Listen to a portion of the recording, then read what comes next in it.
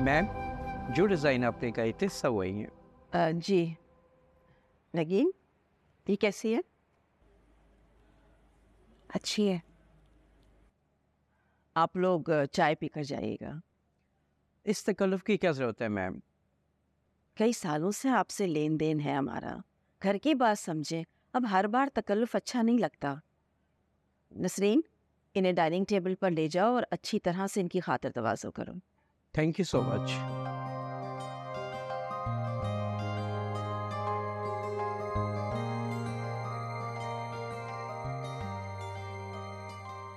शेर से कोई बात हुई तुम्हारी?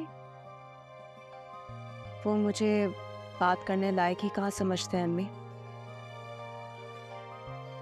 पता नहीं, हर बात मेरी मानने वाला बेटा तुमसे अपनी बेरुखी कब खत्म करेगा?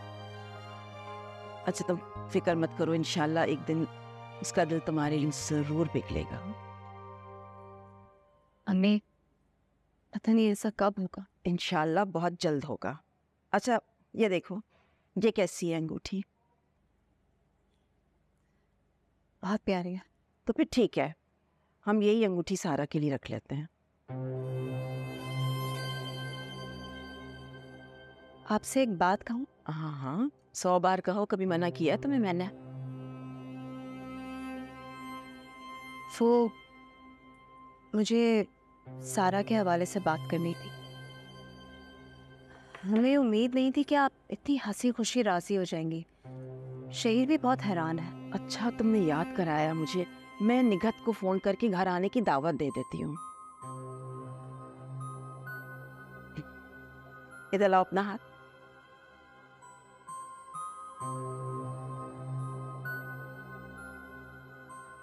माशाल्लाह। बहुत प्यारा लग रहा है तुम्हारे हाथ में। तुम्हारी शादी की सालगिरह का तोहफा उधार था ना? इसे रख लो।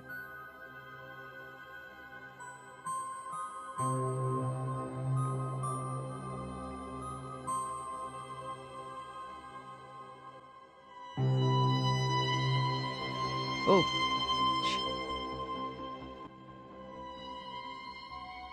वालेकुम अस्सलाम। कैसे मिजाज हैं आपके?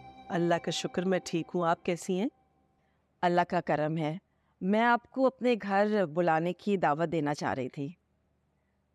क्या आप इस इतवार हमारे घर आ सकती हैं? जी जी बिल्कुल। हम आ जाएँगे। वैसे किस वक्त आना है? अ, शाम की चाय पी लें हमारे साथ? चले ठीक है हम आ जाएँगे।